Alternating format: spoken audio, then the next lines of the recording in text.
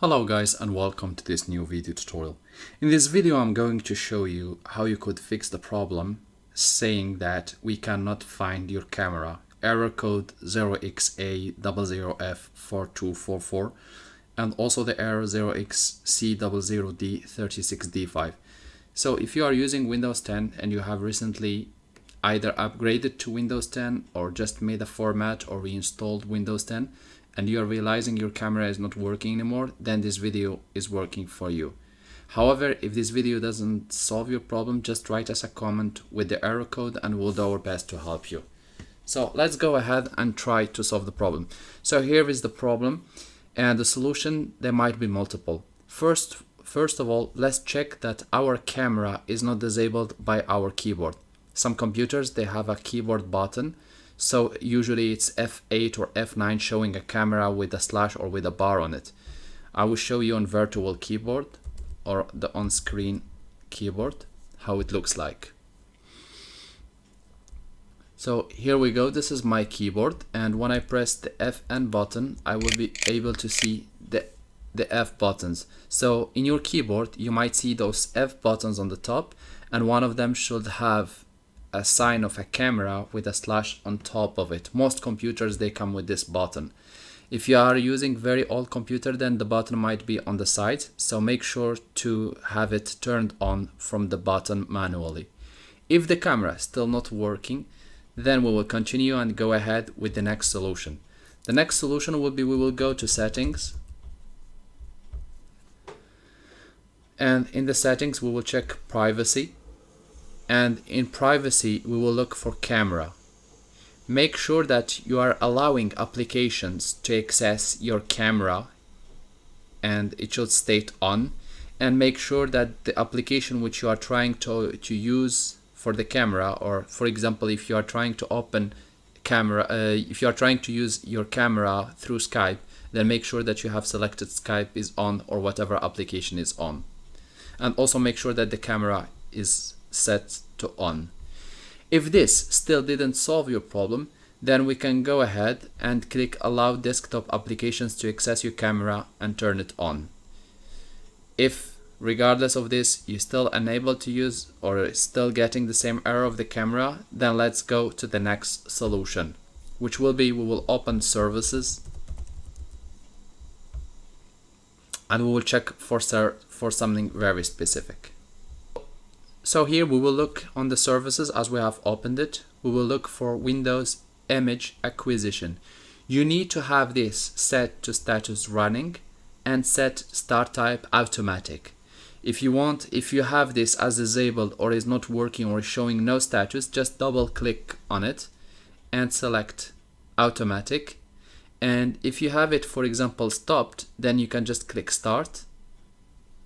You click apply and then you click OK and then you close. You restart your computer and it should work. If after all of this your camera is still not working, then you want to check if the drivers are installed. To do that, go to the search loop, regardless of Windows, if you have Windows 10, 7 or 8 or even 11, go and type device manager. We will open the device manager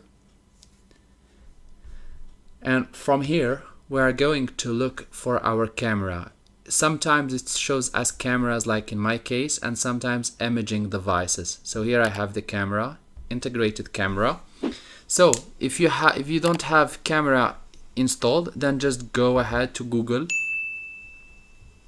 and type for example if you have a Lenovo Lenovo T420 then just type Lenovo T420 I will show you how you can search for drivers to install them so let's connect to the internet.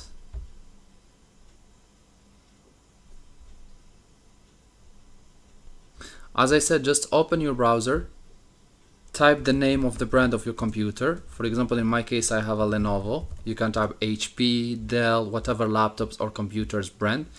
Type the computer series or the number, which is usually the, the name of that specific uh, uh, set of computers which get, um, which are being produced. Like in my case I have a Lenovo IB15 but I will use T420 for, for just learning purposes. And select or add camera drivers download. Here we will go and let's go to integrated camera drivers for Windows 7 it's okay because this computer was set to work only in Windows 7 so upgrading to Windows 10 might set some problems. So I will just show you how you can download and install the driver. So here we have pcsupport.lenovo.com make sure that you have selected the website of the company who made your computer to not download viruses or anything. So here we have camera driver and here we have also as you can see Windows 10 so we'll just click on the Windows 10 and we will download and install the integrated camera drivers automatically. If, if you are unable to find drivers for Windows 10 and you can only find for your computer for Windows 8, 8.1 or even 7, please bear in mind that you can put them or run them on compatible mode. This will be explained in another video how you can run a software or a driver into the compatible mode.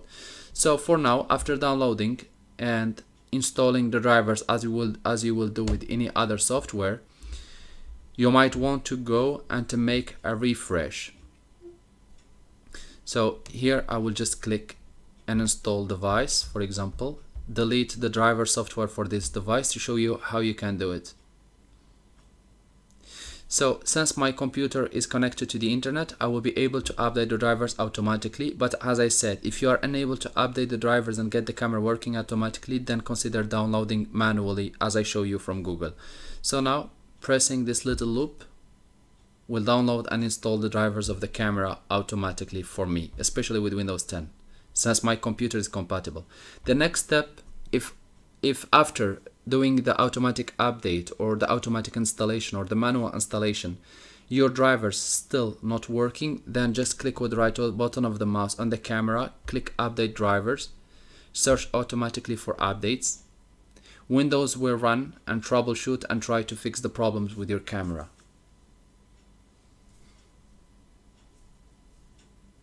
The operation might take few seconds to few minutes based on how fast is your internet and how fast is your computer So as you can see downloading and installing, Windows has successfully updated your driver. Windows has finished installing the drivers for this device integrated camera. So now it's solved and the camera should be working. If you are still facing some issues or some problems, please consider to troubleshoot through settings your camera before you go for online help desk or for whatever. So you go back to settings and you can look for privacy, camera, and here you might want you might want to think to either run a troubleshoot or run a repair. If all of this still didn't fix your camera problem, please let us know through a comment and we will do our best to help you. If you would like, you can always encourage us by a like and a share and also do not forget to subscribe to get our latest videos. Thank you guys for watching and talk to you soon in a new video tutorial.